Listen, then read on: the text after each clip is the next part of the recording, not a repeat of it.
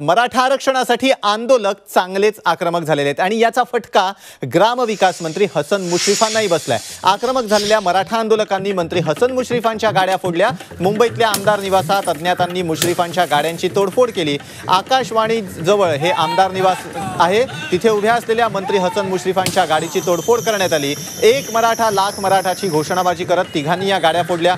हे तिघे छत्रपती संभाजीनगर जिल्ह्याच्या वैजापूर तालुक्यातले आहेत. अजय साळुंखे संतोष निकम दीपक सहानखुरे अशी या तिघांची नावं आहेत. गाडी फोडल्याप्रकरणी तिघांवर कोणतीही कारवाई करू नका असं मंत्री हसन मुश्रीफ यांनी म्हटलंय.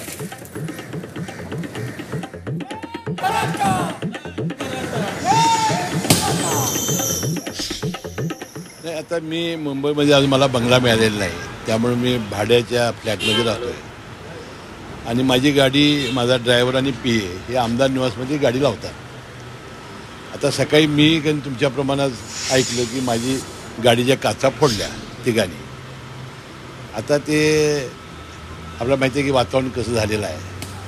आणि माझी आता विनंती आहे की मला माझ्या मतदारसंघातून माझ्यावर प्रेम करणारे राज्यातून फोन येत आहेत.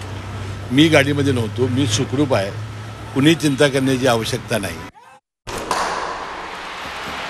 लाल मातीतली कुस्ती म्हणजे